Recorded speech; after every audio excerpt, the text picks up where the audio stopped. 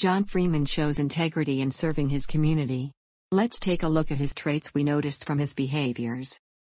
Do you value honesty, integrity, and accountability?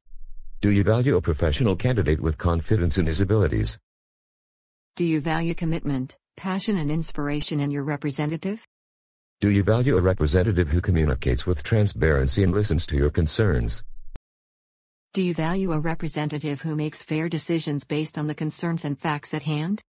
Do you value a representative who has been involved and served his community for several years creating positive results, mostly as a volunteer? If you truly value an excellent leader who has experience and is already doing great things for our county, be sure to vote for John Freeman for District 2 Supervisor. Please exercise your vote for someone who has proven their true value.